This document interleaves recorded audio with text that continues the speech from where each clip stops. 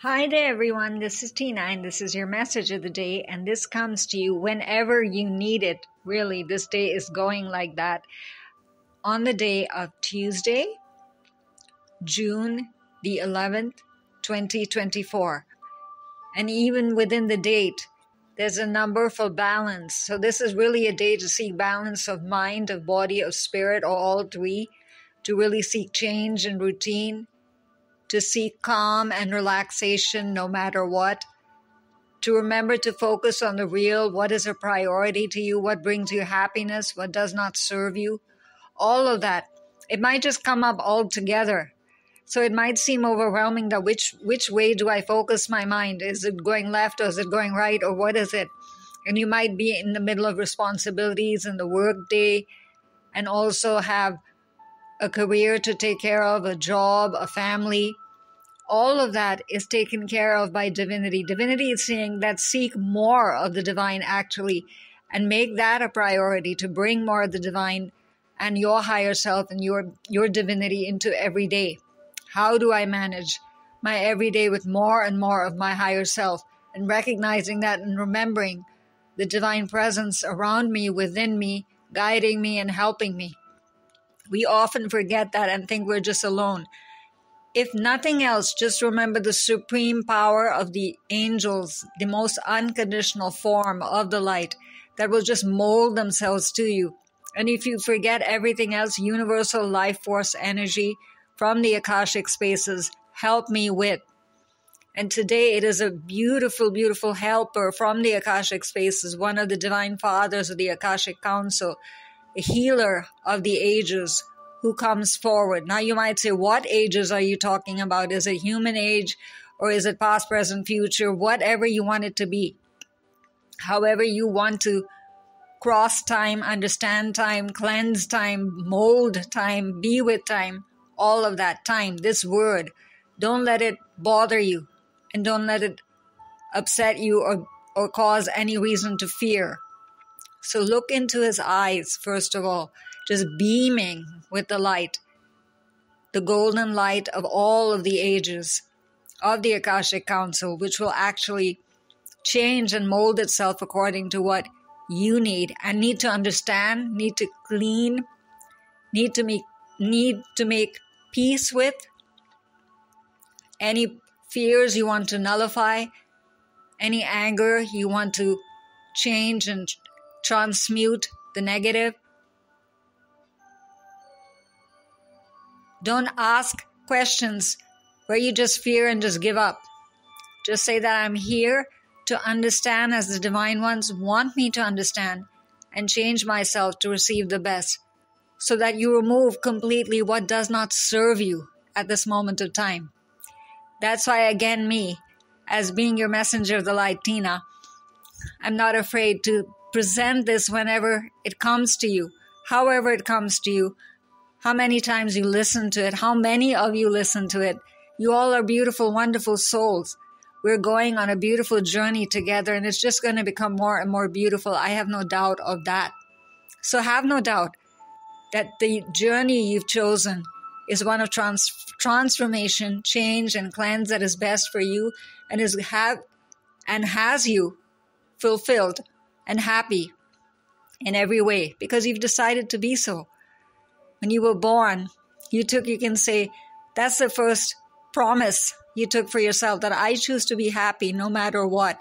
And you've forgotten that somewhere in all the karmic cleansing and baggage, in the understanding or trying to follow destiny or trying to be perfect and trying to follow rituals and prayer, which is correct to do. You should have a foundation that's why there's a huge wall of light behind him, which is acting as the foundational wall of light that is giving you all the blueprints, all the laws of the universe, and all the laws of the religion and traditions you follow. You should never lose those.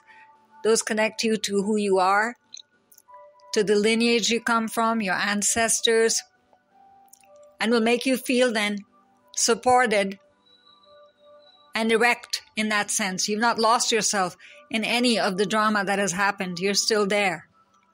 And he has his hands out towards you Again, choose the left or right hand to first cleanse and clear and make peace with the past, to remove and transmute all baggage that is still unnecessarily hovering and burning away your sense of peace and dignity and clarity. And just bring then through those holy flames what you need to bring in to transmute and change and bring in more of the divine, as we said, as your spiritual team. The spiritual team that you recognize and that is your foundation. The words, the prayers, the invocation, the holy ones that you truly and with full heart connect to. Whenever you're troubled, you just reach out to the spiritual team spontaneously. And this day they will add more, you can say. More of the holy ones will come forward for you. So go ahead. This is the time to seek that change and to reflect that change and be that change within you, within your environment, within all the activities you do, all the conversations that you engage in, all the discussions you have with the divine ones, with your loved ones, practical concerns you have, the healer of the ages will heal it, will change it if it does not work for you, it's a source of pain, a source of fear, a source of negativity, troublesome, bothersome. Look at the holy flame now and let it burn away whatever you want to no longer carry with you into the future. It will not go forward with you. And if you look back, his face should have changed or would seem like it's changed for you. It has. Because his hair is asking you then to pull down the wisdom you need immediately. First on your left side, for your immediate present, your reality, where you're standing literally right now. Yesterday, just yesterday, meaning just a day before. What you dealt, dealt with, that you felt with, and that did not sit well with you. Decisions you took or were forced to take. Circumstances you were forced to walk through. Conversations you were forced to speak where you did not want to speak? All that power that you felt you lost will return, and that too in a divine way. You're just reclaiming who, your higher self, who you really are. The blueprint of your Akashic spaces, your Akashic records, is very much just clean, clear. It's cleaned away, it's cleansed away. That's why he's wearing that robe also, literally carrying what seems like clouds. The clouds are that changing agents, clearing agents from the Akashic spaces. You can give them whatever name you want to. They will come forward only from your Akashic records for your Akashic purposes, you can say, and give you the holy answers that you seek as you need and is best for you right now. And that is why he's wearing it also as a sleeve that is covering and going straight into his palms. So, whatever you receive in that guidance will seem re- relevant, step by step, easy to follow. You'll receive it intuitively. You'll enhance your intuition. Your capacity to connect to the divine ones will become stronger. It'll be easier to receive their answers and just take a moment to receive an answer right now. Absolutely clear and easy with symbols, with words, with feeling, with fragrance, a knowing. You feel as if someone is touching your shoulder or is trying to reach out to you with lots of love just oozing into your heart chakra making it brighter and brighter. That portal of light is just growing brighter and brighter as you believe this, receive this, engage with it. apply it, follow it. Of course, you will get more and more higher wisdom because you're ready and receptive and trusting, hopeful. And then as you look back at him, you see then his heart chakra. It seems to be very complicated there, right? It, there's so much going on. It's basically you, again, choosing to express how you express, the very words you use, the emotion you bring into those words, the conversations you have this day, what you choose to express, what you choose to hold on to as a complaint, and don't even talk about it and don't express it, a prayer, an invocation, a desire, an affirmation, clarity or epiphany that you've understood, but you have nowhere to express it, write it down. You don't have to always verbalize anything. Throat chakra does not always mean that you have to literally verbalize it or be engaged in speech all the time. You can just write it down or just relaxedly take it in a meditation or prayer and with your guardian angel, with the healer of the ages here. Ask him to give you a specific name that you can call him by so that you feel a deeper sense of connection a more personalized sense of connection, a customized sense of connection, more spirituality then pouring into you. And your heart chakra is getting brighter and brighter with the golden sunlight then just oozing through the doorway that's open that is saying, Yes, dear one, you are connected to all realms of heaven not just to the Akashic spaces. Don't make it esoteric, make it practical. You want signs. You need help in something right here, right now your finances, your health, your home, your taxes, your family, messages you have to send, decisions you have to make, what you have to understand about something, receptivity feeling safe and secure. Think about everything that is upsetting you in some way or is causing a sense of stress or feeling neglected or feeling pow- powerless, not powerful, to reclaim your divine power back in every way. And it will slowly but surely send that golden light down into your chakra points. You don't see the chakra points highlighted here, right?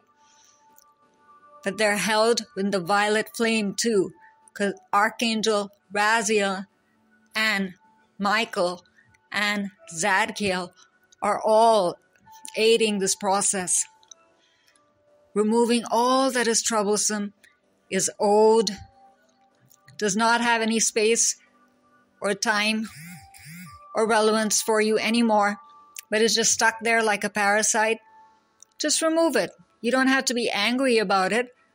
Just peacefully and gracefully choose to, to understand, to receive the wisdom related to what it is, how it affects you, how it affects others connected to you, and just connect back to the robe that he's wearing very easily. That's why it's so easily and simply portrayed. It's so easy for you to understand. There's just movement going on all around you. You just allow it. The angelic forces, the divine forces, the spiritual team working with you. Permission, permission. Yes, I receive. Yes, I choose.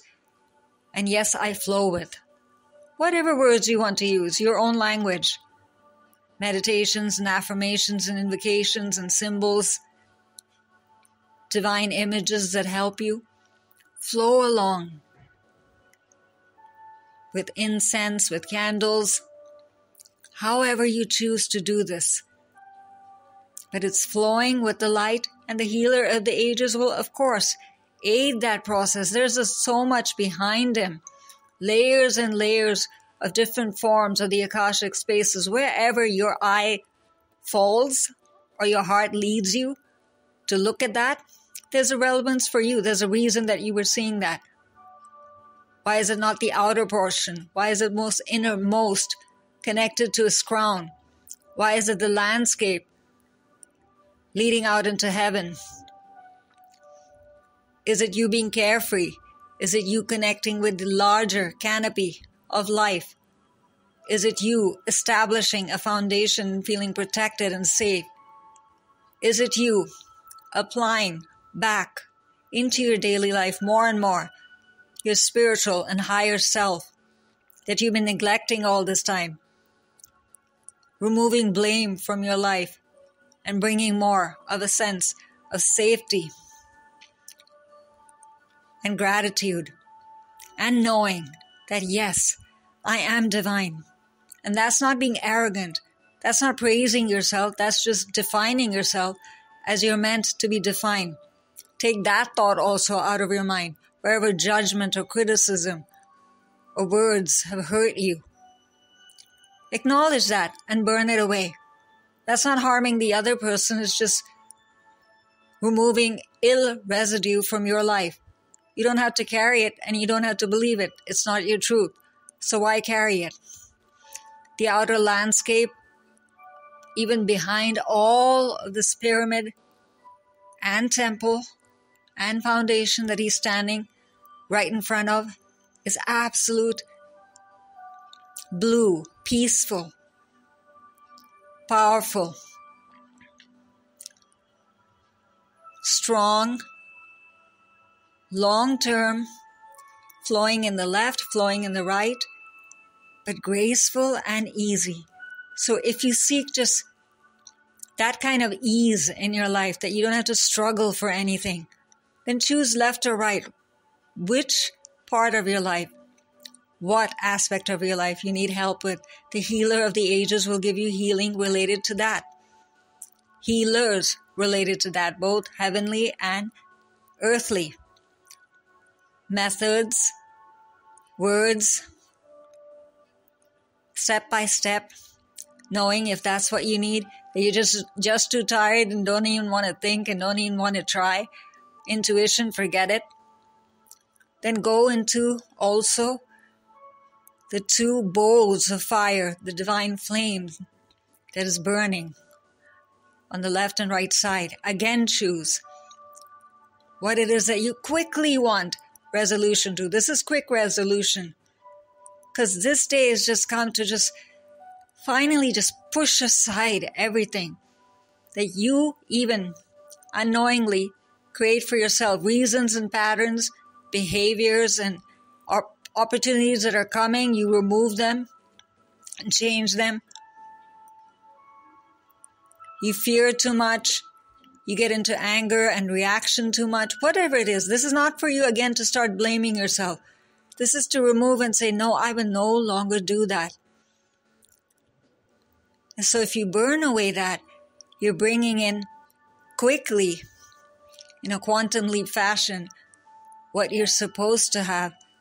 And then you'll be more excited about your life and want to go forward into completing that life purpose that you're meant to have that you keep on questioning yourself for and say, I don't have any life purpose. I just seem to be here, just taking up space. Don't say that ever about your life or you. You're important and precious and like a diamond in the landscape of the starry sky. Not one of the stars says to another star that I'm more important. They're all important, right? That's you. You're part of that, the holy landscape and it is not complete without you, a painting that needs you. And then look at the right side and see the huge flame of light coming up through the holy holder of divine opportunity and change and movement. And this is for those wishes that are just so dear to your heart right now Look back into your heart and see what is your priority, who's your priority, your relationships, what you choose, what you want to focus on. None of it is frivolous. You just choose to remove what is acting as an obstacle or delay to the fulfillment of this wish, completion of this manifestation. Why is it stuck? Why is it delayed? What's the reason there's an obstacle? Is there a better way to do it? A better approach? A better thought system to understand it better, to get a divine perspective literally about this? And look back into his hand and receive that chance, that understanding and movement all together on the right side of his robe, then creating that movement, creating that change today, and applying something right within this day to bring that change and opportunity and not holding back from anything. And there might be a huge shift in your thinking, in your movement, how you approach life, but you would have crossed into the better part of your journey and you will just keep moving. Why? Because you chose to and you listen. Welcome to the real you.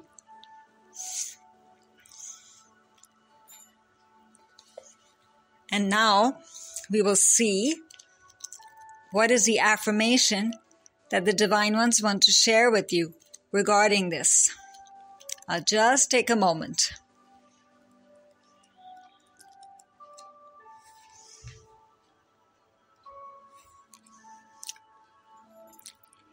the powerful healing of eternal love is with me now and always. Divine consciousness fills every cell. I am whole, healthy, vital, and at peace. And from these two words, you can choose both of these words as your words of power health and vitality. What is your focus point for this day? What kind of health do you seek to enhance? What kind of vi- vitality do you want to embrace and sparkle within and with? And this comes to you from the Energy Oracle cards by Sandra Anne Taylor. And Sandra can be reached at S A N D R A T A Y L O R dot com. And the superb, superb flow and glow, reaffirming power of the light comes through the art of Jena della Grottaglia. And Jena can be reached at A U T U M N S G O double D E-S-S.com. .Com and this is Tina signing off for now. Bye bye.